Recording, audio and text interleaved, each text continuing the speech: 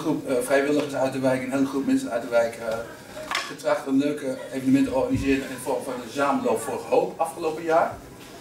Um, we zijn daar heel lang mee bezig geweest. Het is een heel moeilijk traject geweest, maar met 250 wandelaars hebben wij in Bijen 15.000 euro bij gehaald. Als je dan kijkt naar de 4 mijl dat ze met 22, 23.000 lopers 60.000 bij elkaar halen, vind ik dat wij toch wel een heel groot applaus verdienen. Maar op die, uh, op die, op die, op die uh, activiteit werden allerlei vragen gesteld. Want mensen zagen in één keer wat camping voor mensen die geen geld hadden en dan bijvoorbeeld in de wijk een weekendje weg, een weekje weg zouden kunnen en dat soort dingen meer. En ook in die samenloop zaten highlights waarvan mensen zeggen, dat willen we wel eens een keer vaker zien. Um, ja, dan ga je wat dingen, dingen bedenken, dan ga je wat, wat sparren.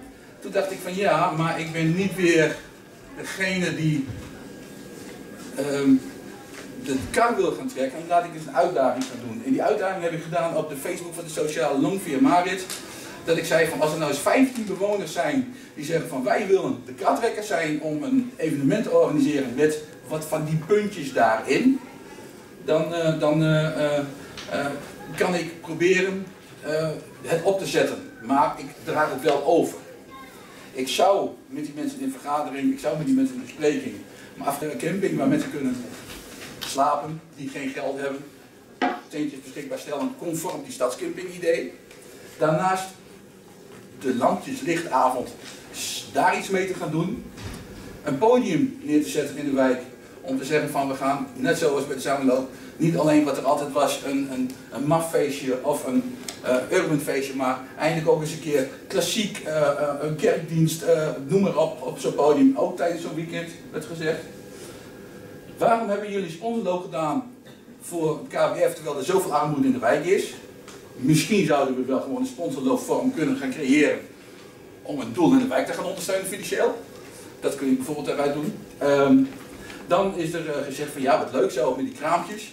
Ja, en waren de mensen, kunnen wij misschien met onze honing, kunnen wij misschien met onze gemaakte artikel in de wijk ook komen staan. Maar dat concept van het KWF was daar niet voor, dus moesten we afwimpelen, maar er was wel vraag naar. Um, dan werd er ook gepraat over een vorm van animatie. Vonden ze ook allemaal leuk. Hadden ze ook allemaal heel enthousiaste uh, dingen over.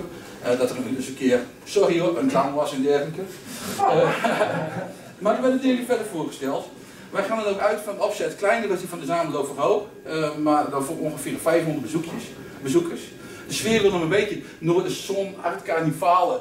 Maar roep het niet te hard, want anders gaan mensen straks denken van... hé, hey, we hebben vier weken van die teringzooi voor onze deur, hebben we ook geen belang bij. Dus maar dat is de sfeer waar we heen willen. Die krachttrekkers, die mensen willen graag geholpen worden met het maken van een draaiboek. Daar bleek ik heel goed in te zijn. In het motiveren en aan te sluiten bij organisaties. Zoals deze, zoals de andere bestaande dingen. En deze uh, uh, buurtbewoners willen dan graag medio uh, januari een presentatie doen van dit zijn onze plannen, dit is haalbaar, we gaan door. Of we zeggen, dit is niet haalbaar en we gaan niet door. Wat wel heel erg belangrijk is, uit ervaring bij de samenloop hebben we geconcludeerd dat je voor plassen, poepen, eten, drinken en zorgen dat de relatie afgegaan wat 3500 euro nodig bent. Dat betekent dus dat je de stadscamping gaat doen, moet je dat ook doen.